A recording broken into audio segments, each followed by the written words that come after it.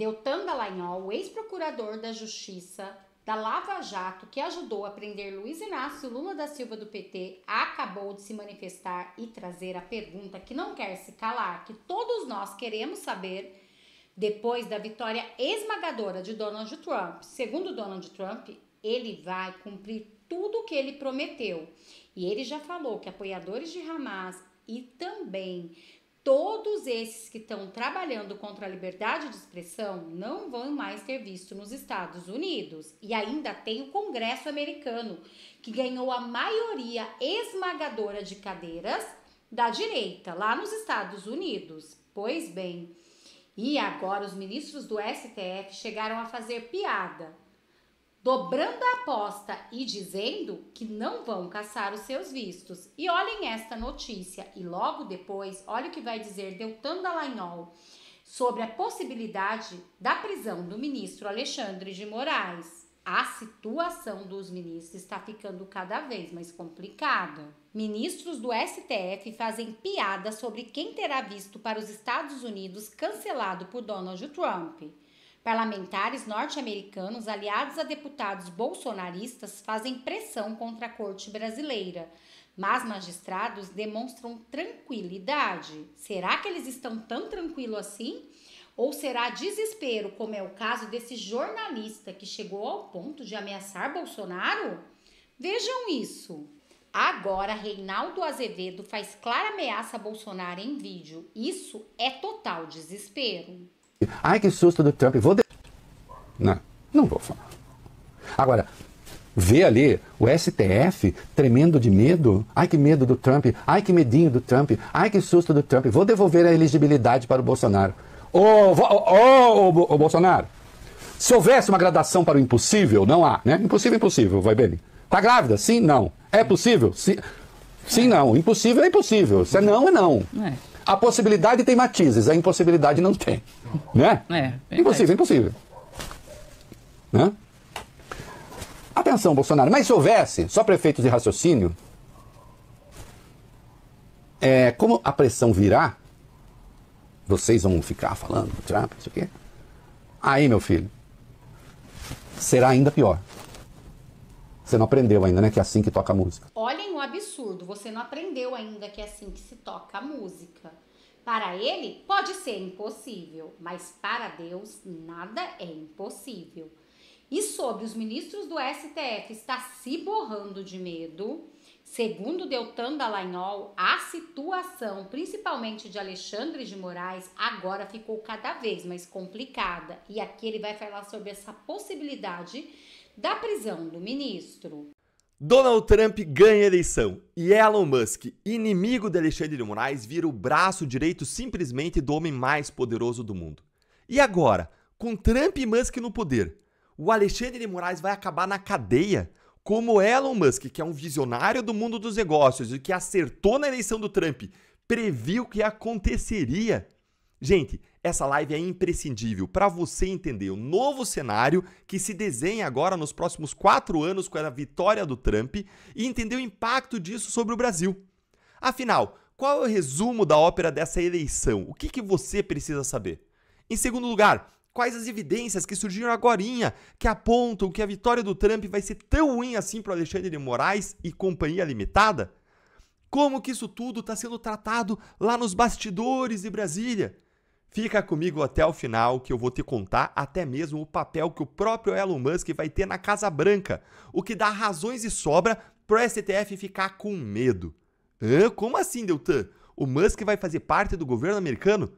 Fica aqui comigo para você entender, mas antes de começar, curte o vídeo, se inscreve no canal se você ainda não é membro aqui, se você não está na nossa casa e clica no sininho. Envie esse link também desse vídeo para os seus grupos de WhatsApp para que as pessoas possam entender o que está acontecendo e para que a gente possa nos somar no movimento de direita no Brasil. E vamos lá! Que vitória que é essa arrasadora que aconteceu nesta última noite para o Trump e que é tão humilhante para Kamala Harris, mas não só para Kamala Harris, foi também muito humilhante para Lula, para Alexandre de Moraes, para o Supremo Tribunal Federal e para a nossa velha imprensa vendida, militante, progressista e submissa aos donos do poder. Gente, a realidade se impôs e o Donald Trump teve uma vitória histórica, acachapante. Além disso, os republicanos já retomaram a maioria do Senado e eles estão agora no caminho para também tomarem o controle da Câmara dos Representantes, que é a Câmara dos Deputados americana. Na Suprema Corte, a maioria já é de direita. Ter seis contra três ministros, e com a eleição do Trump, isso está consolidado.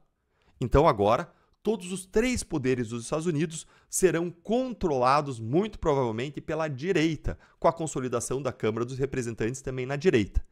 E sabe quem que acordou por conta desse todo o cenário aqui, desse cenário que eu pintei? Sabe quem que acordou desesperado, morrendo de medo? Sabe quem que vai perder o sono pelos próximos quatro anos? Ele mesmo, o ministro Alexandre de Moraes. Você não vai acreditar no tamanho do buraco em que o Alexandre de Moraes se enfiou e se enfiou sozinho, e do qual ele dificilmente vai conseguir escapar. Gente, chega a ser cômico o tamanho do problema que o Alexandre de Moraes arrumou, a ponto de já estarem aí saindo uma série de memes. E eu vou fazer um vídeo só de memes mais tarde. Mas olha aqui esses dois memes que colocaram num comentário de um post meu lá no X, lá no Twitter. Dá uma olhadinha aqui nesses memes. O primeiro de um foguete, uma alusão aqui à SpaceX, empresa do Musk, fritando um ovo. O segundo, segundo meme que eu quero chamar a atenção aqui, é o desse aqui, um satélite, numa referência aqui a outra empresa do Elon Musk, a Starlink, lançando aí um laser e fritando um ovo. Gente, estão fritando um ovo em referência a quê? Em referência àquele que é chamado popularmente de cabeça de ovo. Ele, Alexandre de Moraes. Mas antes do vídeo dos memes, é preciso entender a realidade que embasa esses memes. Bora então ver aqui rapidamente o mapa da eleição americana, que segue um modelo estadual, diferente da nossa que segue um modelo nacional. Como que funciona muito rapidamente, em poucos segundos, para quem não tem ideia de como funciona o modelo americano?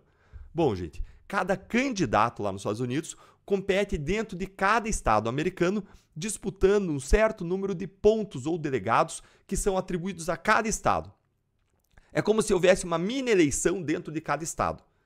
Assim, por exemplo, um estado populoso como a Califórnia tem 54 delegados dentro da Califórnia ou pontos que são disputados.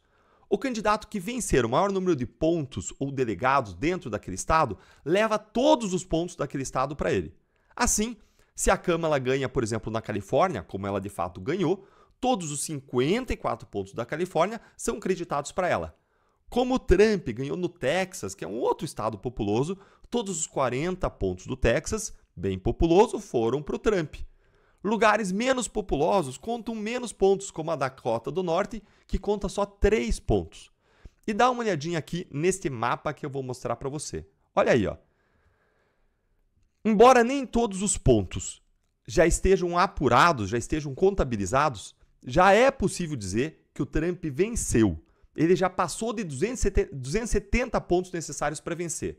Ele já alcançou 277 pontos contra 224 da Câmara. A Câmara só alcançou, gente, 224. Isso mostra aqui uma vitória destruidora em favor do Trump. Olha aí no mapa a preponderância da cor vermelha. E lá, a cor vermelha não é a cor vermelha de PT. Vermelho lá é a cor dos republicanos, da direita, do Trump, do Partido Conservador. Já o azul, que aparece aí numa minoria no mapa, representa a esquerda americana, o Partido dos Democratas, a Kamala Harris.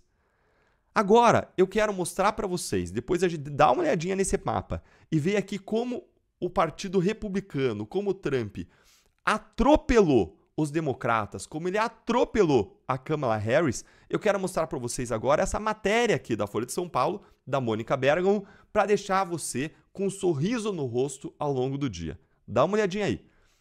STF não resistirá a um vento contra do Trump e deixará Bolsonaro disputar as eleições de 2026, dizem aliados. Gente, o Trump mal ganhou e a grande imprensa, a militância de redação, já está dando espaço para matérias que dizem que o STF pode sim deixar o Bolsonaro concorrer em 2026. Olha a linha fina aqui dessa matéria. Iniciativas para colocar a corte brasileira sob pressão devem evoluir com republicanos no poder. Podem evoluir? Gente, tenho certeza de que vão evoluir. E eu já vou mostrar para vocês por que, que isso vai acontecer. Segue aqui comigo, olha só. A vitória do Donald Trump para a presidência dos Estados Unidos levou aliados de Jair Bolsonaro à euforia e injetou novo ânimo no projeto de torná-lo elegível para disputar as eleições presidenciais de 2026. De acordo com interlocutores do ex-presidente, o STF, que poderia ter a última palavra tanto sobre direitos políticos como sobre uma anistia que beneficiasse Bolsonaro, não conseguirá resistir ao vento contra que poderá soprar sobre os magistrados a partir dos Estados Unidos. Gente, até pouco tempo atrás, esse tipo de notícia seria inimaginável, porque ninguém na militância de redação e nem no sistema imaginavam que o Trump teria uma vitória tão monumental e que os republicanos tomariam o controle do Congresso. Agora, como eu disse, provavelmente nós teremos os republicanos controlando os três poderes lá nos Estados Unidos, e eu digo provavelmente apenas porque ainda não está definida totalmente a maioria da Câmara dos Representantes, equivalente aqui à nossa Câmara dos Deputados. Mas, mais uma vez, o Senado já está definido com uma maioria republicana de direita. O Trump ganhou a eleição presidencial, definindo o que aconteceu no executivo, e no, é, no Supremo, na Suprema Corte norte-americana, a maioria é conservadora, de direita, de seis magistrados contra três que estão à esquerda. Mas é aqui que o negócio vai ficar bom. Olha aqui essa sequência, dá uma olhadinha aqui, ó. No próprio STF, já se admite que as pressões vão aumentar. Elas viriam do próprio Trump, de um de seus principais aliados, o dono do X, o Elon Musk, e do Congresso dos Estados Unidos, onde os republicanos passarão a ter maioria de votos. Ou seja, gente, o próprio STF já admite que a pressão só vai subir e que a temperatura só vai aumentar. E ele sabe muito bem de onde que isso virá. Isso virá do próprio Trump, do Elon Musk e do Congresso americano, que até no governo Biden já estava com um olho voltado para os abusos do Alexandre de Moraes e do Supremo. A gente já viu, já viu no governo Biden iniciativas como os arquivos do Congresso americano, a audiência do Congresso americano sobre a liberdade de expressão no Brasil, os projetos de lei de vários deputados americanos, como Chris Smith e a Maria Elvira Salazar, para banir o Alexandre de Moraes e outros ministros do Supremo dos Estados Unidos e caçar os vistos americanos deles o projeto para impedir o financiamento com dólares americanos das ONGs que promovem a censura e o cancelamento no Brasil. Isso já estava acontecendo durante uma administração democrata, em que os republicanos não tinham controle da Câmara. E agora, com a presidência, com o Senado e possivelmente com a própria Câmara sob o controle dos republicanos, como que vai acontecer? Gente, eu avisei a vocês que depois desse vídeo eu ainda vou te contar, em que eu ainda vou te contar nesse vídeo qual vai ser o papel do Musk na Casa Branca, mas depois desse vídeo eu vou fazer um vídeo só sobre memes dessa eleição. E uma parte grande desses memes é, adivinhem, sobre o chororô e o clima de velório da militância de redação, de veículos de imprensa como a Globo News, que erraram todas as suas análises e fizeram torcida. Ainda vou te falar sobre o futuro do Musk na Casa Branca. Vamos lá. Olha aqui. Musk, que é arqui-inimigo do ministro do STF, Alexandre de Moraes, sai fortalecido como nunca do pleito. Ele estava ao lado do Trump, inclusive no jantar oferecido ontem à noite, nessa terça-feira, dia 5, pelo presidente eleito, pelo Trump, lá na casa do Trump, na Flórida. Um jantar oferecido para acompanhar as eleições. O deputado Eduardo Bolsonaro também estava lá no local. Olha aqui, gente. Olha a fotinho que viralizou aqui de ontem. Olha aqui, ó. Olha essa fotinho aqui que viralizou de ontem para hoje nas redes sociais, em que aparecem aí o Trump, o Elon Musk e o Dana White, dono do UFC. Eu até achei ali que não era o Dana White, viu? Achei que era o Joe Rogan. Até busquei imagens para ver se era, não era, mas eu conferi, é mesmo o Dana White. Como eles são parecidos, gente. Mas aí estão aí os três juntinhos, conversando, lá no Mar-a-Lago, que é a residência do Trump na Flórida, durante as apurações no jantar de ontem feito para acompanhar as eleições. Olha aqui comigo mais uma foto desses, desses três aí. Eu vou mostrar para vocês mais uma foto deles. Dá uma olhadinha aqui. Essa foto aqui de melhor qualidade aqui, dá para você ver melhor os três é, juntinhos, tá? O Elon Musk, gente, ele se mostrou um dos conselheiros e amigos mais próximos do Donald Trump E isso vai ter consequências terríveis para o Alexandre de Moraes. E eu já vou mostrar para vocês essas consequências para vocês. Continuem aqui comigo que vocês vão ficar incrédulos com o problema que o Alexandre Moraes arrumou para ele. E olha o que, que o Donald Trump disse sobre o Elon Musk. Olha aqui. Trump agradece a Elon Musk, aqui num post aqui da Desiree Rugani. Deixe-me dizer isso para vocês. Nós temos uma nova estrela. Uma estrela nasceu. Elon, ele é um cara incrível. Estávamos sentados juntos essa noite. Você sabe, ele passou duas semanas na Filadélfia e em diferentes partes da Pensilvânia fazendo campanha. O Trump aqui, no discurso dele, aqui agradecendo efusivamente o Elon Musk depois da vitória. Agora, vamos voltar ali para a matéria da Folha de São Paulo? Antes de eu mostrar para vocês o erro gigante que o Alexandre de Moraes cometeu. Segue aqui comigo, ó. Com os democratas no poder, as pressões não evoluíram. Agora o quadro pode mudar, acreditam integrantes do governo Bolsonaro. Poderiam ser aprovadas, por exemplo, medidas como um veto para que Alexandre de Moraes entre nos Estados Unidos e também sanções econômicas contra o Brasil. A nova correlação de forças poderia impulsionar também a aprovação de uma anistia para o Bolsonaro no Congresso brasileiro. Sob pressão, o STF não colocaria empecilhos para que ela valesse de fato já a partir de 2026, o que permitiria que Bolsonaro disputasse a presidência da República. É, minha gente, e é aqui que a gente chega à parte mais importante da nossa live, que é o grande, grande, imenso erro cometido pelo Alexandre de Moraes: comprar a briga com Elon Musk. Bora lembrar aqui tudo que o Alexandre de Moraes fez contra o Elon Musk? Olha só, lembra aqui comigo os fatos, um por um. Primeiro, Alexandre Moraes incluiu Elon Musk no inquérito das milícias digitais, como se fosse uma direita internacional contra a democracia. Porque lá em abril, o Musk disse que não obedeceria mais às decisões ilegais de censura do Supremo Tribunal Federal.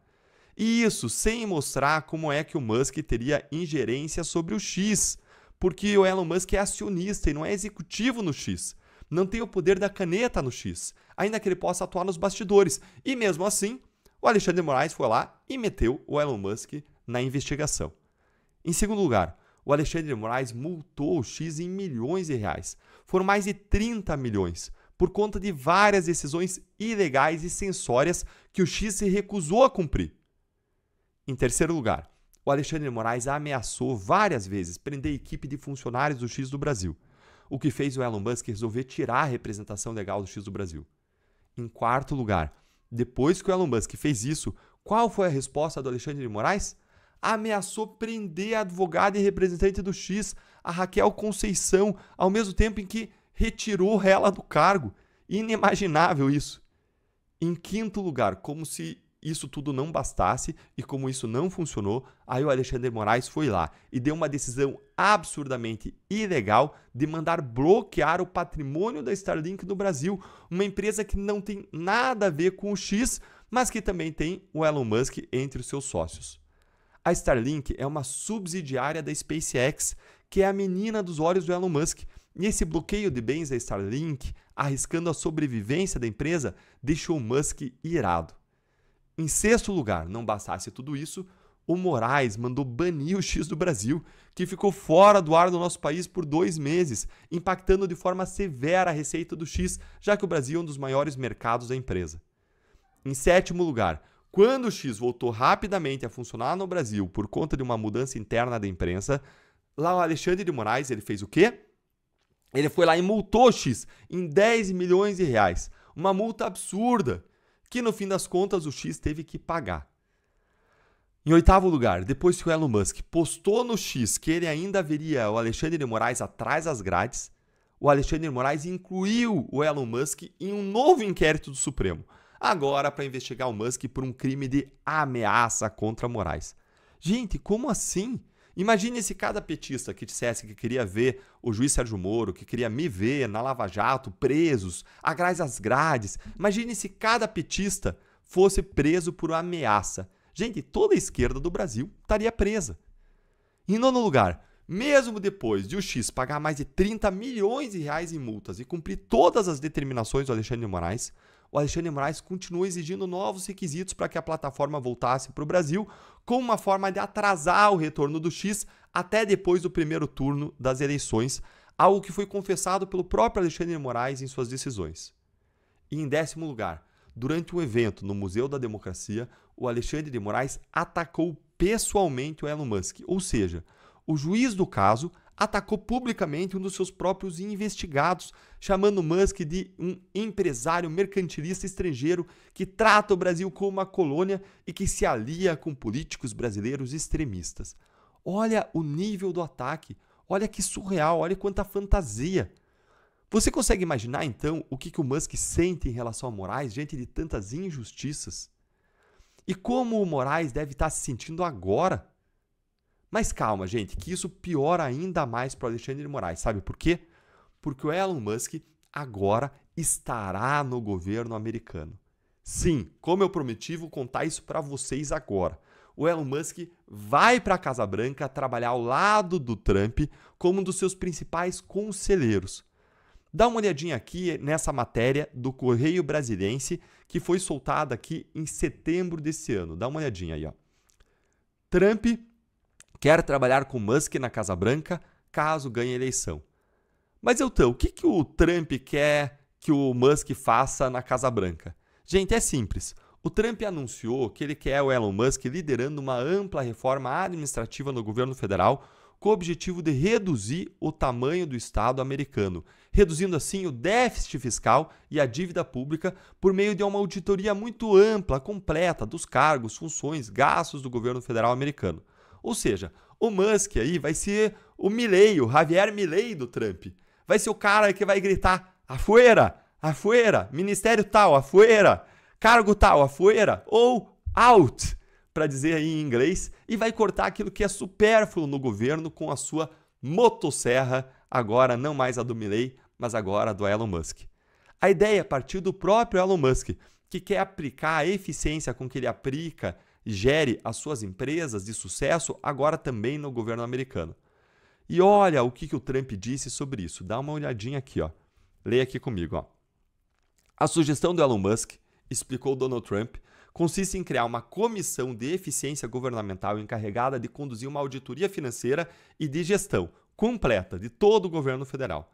Os trabalhos desse grupo, com o Elon Musk à frente, vão ter início com a elaboração de um plano de ação para eliminar totalmente a fraude e os pagamentos indevidos em seis meses. Isso economizará bilhões de dólares, disse o Donald Trump. E aí, gente? O que é que vocês acham que vai acontecer agora que o Elon Musk vai estar tá lá numa salinha ao lado do Salão Oval na Casa Branca, tendo ouvido do Trump ali 24 horas por dia, para ele contar ao Trump exatamente todas as ilegalidades, todos os abusos judiciais que o Alexandre de Moraes cometeu e vem cometendo aqui no Brasil? E quando o Elon Musk sentar com o Trump e expuser exatamente essa listinha aí que eu fiz para vocês de 10 coisas que o Moraes fez contra o Elon Musk e contra as suas empresas, afetando interesses econômicos, empregos, direitos de cidadãos americanos. Vocês lembram dessa postagem aqui, ó, que eu vou mostrar para vocês, ó? E aí, gente, o que, que vocês acharam de tudo que disse Deltan Dallagnol? Vocês acham que realmente a situação do ministro Alexandre de Moraes está mais complicada com a vitória de Donald Trump? Eu acredito que sim, até mesmo porque todos aqueles deputados que estão ajudando os deputados aqui de direita para punir os ministros do STF, principalmente em relação aos vistos nos Estados Unidos, foram reeleitos de uma forma esmagadora, assim como Donald Trump. Então, gente, tudo pode acontecer e o desespero está tão grande que vocês viram até que o jornalista da UOL, militante esquerdista, apoiador de Lula, ameaçando Bolsonaro, eu gostaria de saber de vocês, o que, que vocês acharam disso e também o que, que vocês acharam dessa vitória de Donald Trump. Gente, que vitória, hein? Eu não sei vocês, mas eu fiquei muito feliz.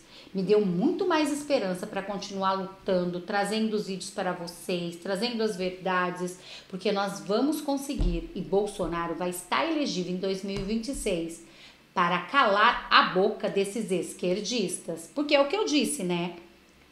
Para Deus, nada é impossível. Bom, Este foi o react de agora. Eu espero que vocês tenham gostado. Peço para vocês se inscreverem no canal, curtir, compartilhar muito esse vídeo, porque além de ajudar o meu trabalho a crescer, você também fortalece a política de direita no Brasil, que vem sendo tão perseguida. Também gostaria de fazer um convite muito especial a cada um de vocês.